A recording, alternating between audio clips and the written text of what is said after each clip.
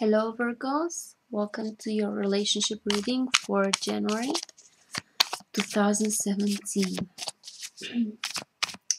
okay, so I'm connecting with all of you Virgos watching this video. And I hope that the cards have some meaningful insights for you guys. Or at least for someone who needs to hear something else. Okay.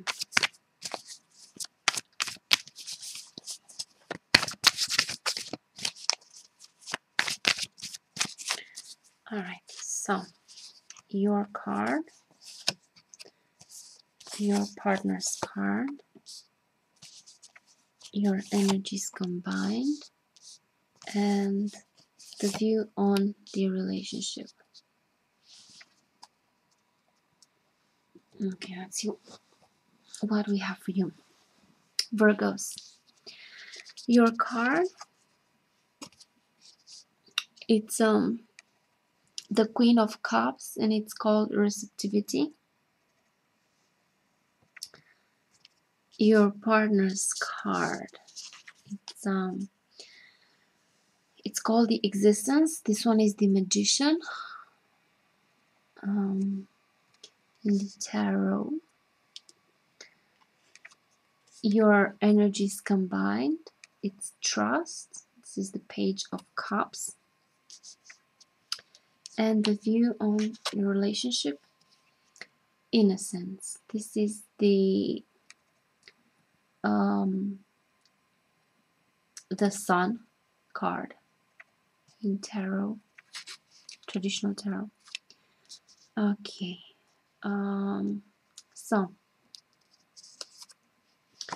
your energy receptivity it's it shows that you are open you're allowing uh, you're open for this relationship. You are you know this, this feminine energy of openness and sharing your emotions letting them flow and allowing yourself to be. And it's about giving and receiving. It's about also being open to your partner you're listening to them, what they need, what they want, who they are. Truly, truly trying to see them. Um, and know them completely. So you're you're opening up to them. Uh, your partner, this card, existence, the magician um, this symbolizes the your your inner power and you being the the magician that are you have all the tools that you need to create your experiences. And you, you your partner it's kind of like they're um, they know what they want and they're able to you know to create this relationship with you. Um, and they're aware aware of their qualities. They trust themselves. They're confident. They're you know they're skilled. Um, in this and um, yeah it's like unlimited potential um, to create whatever experiences experience they desire they want. Your energies combined here it's trust. It's like you're both you're both opening up to each other. And you're both choosing to trust each other and you're you're following your heart you're see like this this person here is diving uh, into the, the pink it's like falling into the pink it's like pink is the the heart heart energy feelings. And the blue may signify the mind somehow.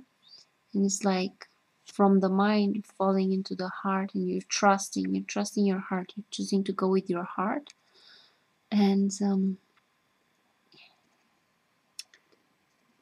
disconsider anything else and not paying attention to anything else in your you know not over analyzing not over you're just choosing to go with your heart's desire. And you're trusting each other you have faith and trust in each other. Um, this card here innocence the it feels like you're both have quite some experience. Like symbolized by this old man it's somewhat the end of the road the ending of a cycle. Um maybe you've both ended a relationship relationships and see this this old man it's still like has the innocence of a child it's being open to experience things and it's being curious about this insect.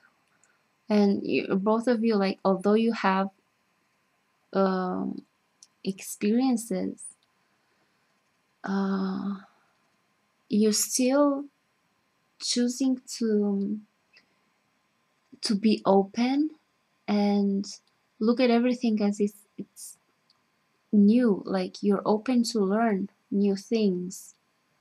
And it, there's this openness despite some experiences you had.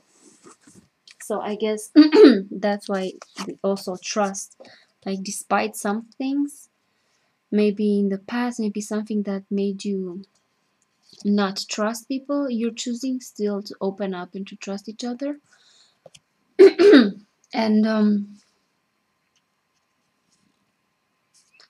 it's like you're um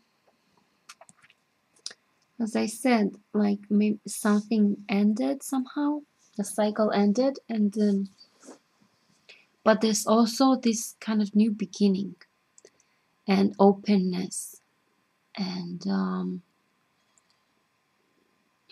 curiosity. And it's like this innocence this card is called innocence. Oh my cat kitty Okay, so um yeah, so it's like you you're both Hi kitty, excuse me, my cat. Hi my Okay. Uh, she wants to get on my lap.